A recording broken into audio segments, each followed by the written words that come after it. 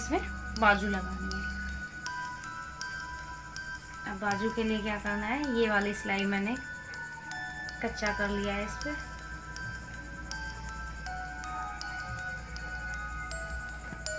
इस तरीके से फोल्ड करेंगे इसको।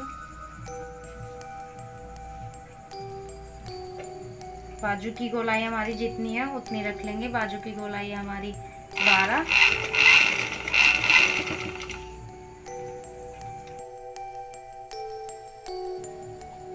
ये वाले जो हमारे यहाँ से पकड़ेंगे ये मुड्ढों की फिटिंग कैसे लेनी है?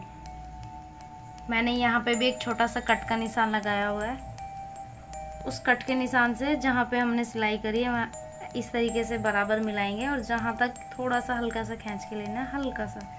जहाँ तक आ जाए, वहाँ बिल्कुल वहीं तक हमें एकदम बाजू बिल्कुल फिटाएँगे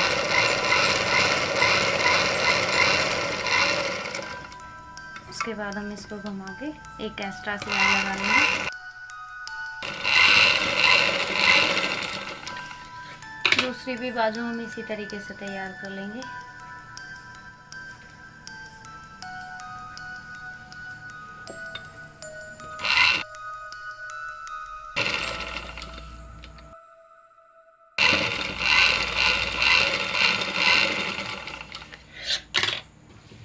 इसके बाद हम इसको दोस्तों बाजू सीधी कर लेंगे। सूट हमारा उल्टा ही रहेगा।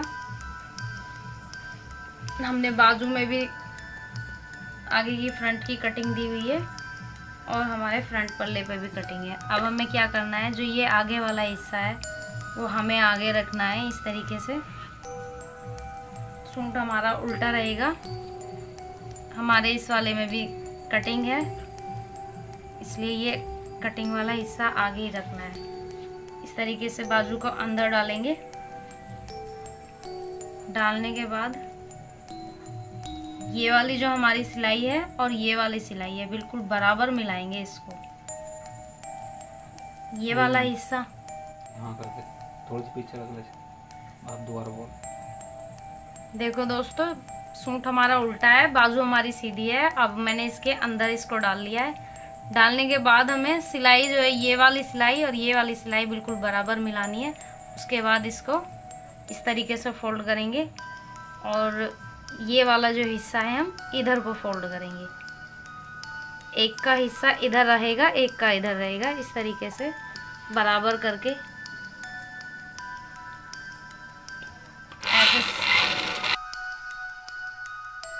एक बार मिलेगा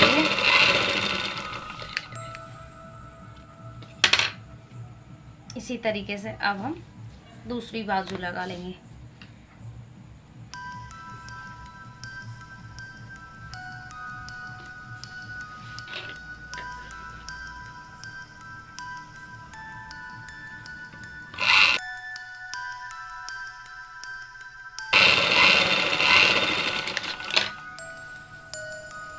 ये देखो दोस्तों, हमारी बाजू लग के तैयार हो गई है।